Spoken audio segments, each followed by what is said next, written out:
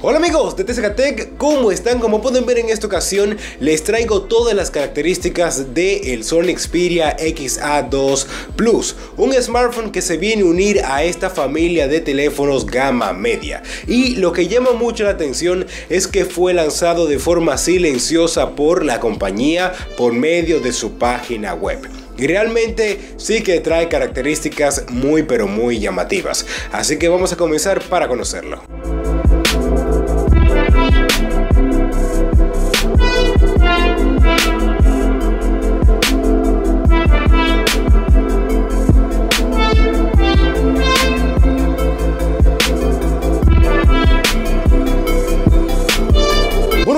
Comenzar hablando acerca del el diseño de este dispositivo que realmente a primera vista se ve muy bonito, pero realmente este no se diferencia mucho de sus hermanos menores. Entrando en el tema de la pantalla, este cuenta con una de 6 pulgadas IPS Full HD Plus. Y en cuanto al tema de la cámara, este cuenta con una cámara principal de 23 megapíxeles que graba también en 4K y ya en cuanto a su cámara frontal es de 8 megapíxeles. Y ya en cuanto al tema de la batería vamos a poder encontrar una de 3580 miliamperios y espero de que este teléfono no siga contando con el problema de que se calentaba demasiado y más que graba ahora en 4K.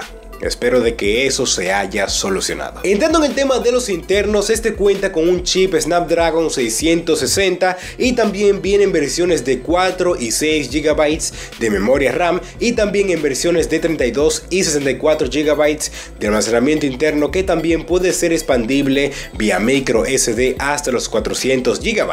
Y también algo muy positivo de este teléfono es que viene con Android Oreo. Y en cuanto a las características extras, este teléfono cuenta con un lector de huellas en su parte trasera y también cuenta con puerto USB tipo C. Y en cuanto al tema del precio y también la disponibilidad, la compañía dice de que va a estar en el mercado a partir del mes de agosto, no especifican el día, pero el tema del precio es lo que más me llama la atención, ya que lo vamos a poder encontrar a un precio que ronda entre los 400 y 450 dólares. Pero siendo realista, es un poquito caro el dispositivo dispositivo, pero para las características que trae, graba en 4K, tiene una muy buena pantalla, a pesar de que no es OLED, pero desde mi punto de vista, eh, el teléfono debería de bajar un poquito de precio, aunque sea unos 250, 350 dólares, ahí estamos hablando.